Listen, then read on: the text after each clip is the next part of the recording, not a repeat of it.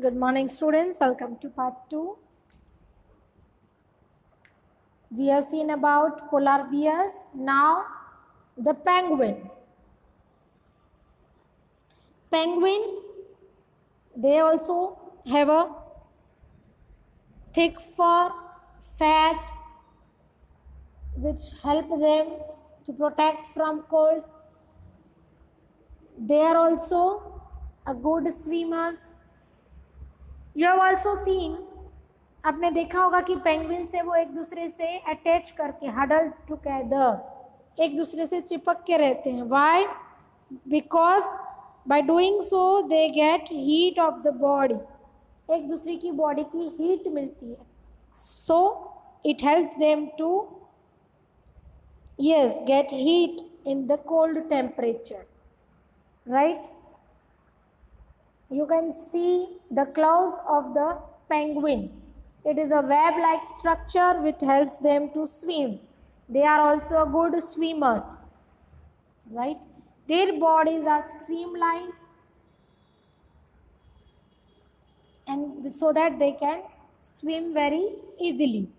Other animals living in the polar regions are many types of fishes. Musk oxen, reindeers, fox, whales, birds. These are all the animals living in the polar region. It is to be noted that while fish can remain under cold water for long, birds must remain warm to survive. They migrate to warmer region when winter sets in. They come back after the winter is over. You know probably that India is one of the destinations of many of these birds. आपने देखा होगा कि जब winter में यहाँ पे बहुत सारे अलग अलग बर्ड्स आते हैं। आते हैं ना? They are called migratory birds कि वो जहाँ पे रहते हैं, वहाँ का एटमोसफियर उनके लिए अच्छा नहीं होता है। बहुत ज़्यादा ठंडी या गर्मी होती है। तो वो लोग एक जगह से दूसरी जगह माइग्रेट करते हैं right you must have seen heard about the Siberian crane that comes from Siberia to Bharatpur in Rajasthan in Haryana and some of the wetlands of northeast and some other parts of the India. ऐसे काफ़ी सारे birds होते हैं जो अलग अलग seasons में अलग अलग जगह पे माइग्रेट करते हैं ओके? बहुत लंबा डिस्टेंस बना लेते हैं वो लोग they travel a very long distance according to the season and again they will go to their place These are called migratory birds. Now the tropical rainforest. We have seen about polar regions. Now the tropical rain forest. वहाँ का temperature कैसा होगा hot climate because of its location around the equator tropical regions is near the equator. Even in the coldest month, the temperature is generally higher than 15 degree. During hot summers, the temperatures may cross 40 degree. Days and nights are almost equal. वहाँ पे गर्मी बहुत ज़्यादा होती है। ठंडी में भी 15 डिग्री से नीचे तो कभी जाता ही नहीं है टेम्परेचर और गर्मी में 40 से ऊपर जा सकता है। So this is a tropical region अभी वहाँ की एडेप्टेशंस कैसी होगी? वहाँ के प्लांट्स की वहाँ के एनिमल्स की एडेप्टेशंस कैसी होगी? है ना? वहाँ की एडेप्टेशंस अलग होगी सब। जो उनको हॉट क्लाइमेट में रहने के लिए हेल्प कर सके।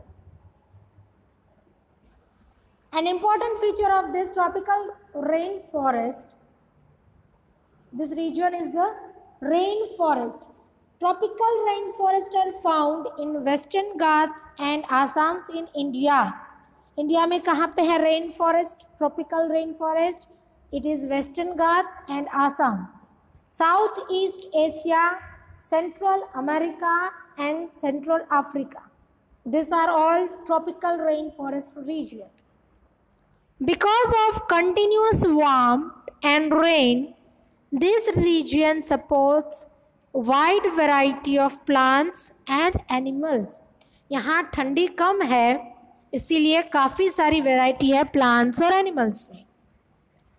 The major types of animals living in the rain forest are monkeys apes gorillas tigers elephants leopards lizards snakes birds and insects so you can see there is a wide variety of animals and birds let us read about their adaptations The climatic condition is in rainforest are highly suitable for supporting enormous number and a variety of animals. ऐसा climate है जहाँ ज़्यादातर लोग रह सकते हैं since the number are large there is intense competition for food and shelter जितनी ज़्यादा पॉपुलेशन उतनी ज़्यादा competition for food and shelter है ना many animals are adapted to living on trees trees पे रहने वाले ज़्यादा एनिमल्स हैं The one example is the red-eyed frog. Red-eyed frog. The picture is given over here.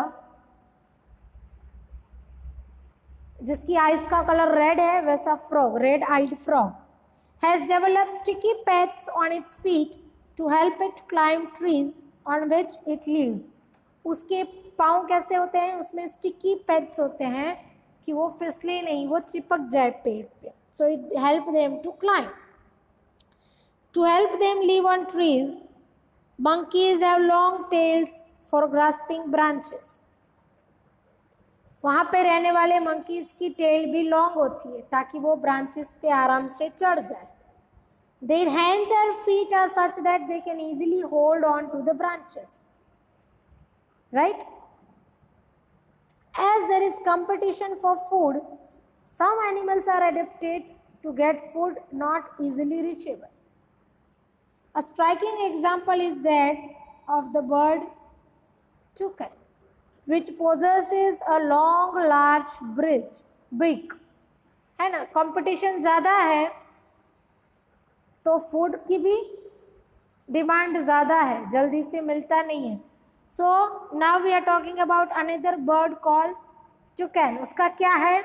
It has a long large beak this helps to reach the fruits on branches, which are otherwise too weak to support its weight.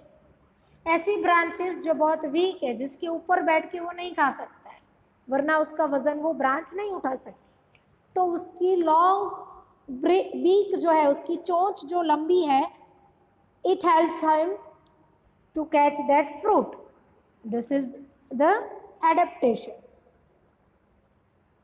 right many tropical animals have sensitive hearing sharp eyesight thick skin and skin colour which help them to mix with the surrounding tropical animals की क्या है characteristics they have sensitive hearing उनके ears बहुत अच्छे होते हैं। आई site sharp होती है। स्किन थिक होती है और कलर ऐसा होता है जो उनके सराउंडिंग्स में मैच हो जाए ताकि वो सेफ़ रहे। राइट ओके अभी थोड़ा सा है बाकी from page number seventy six I want you to read it once and then we will go through it with the exercise. So homework is read page 76 and also try to solve the exercise. Thank you.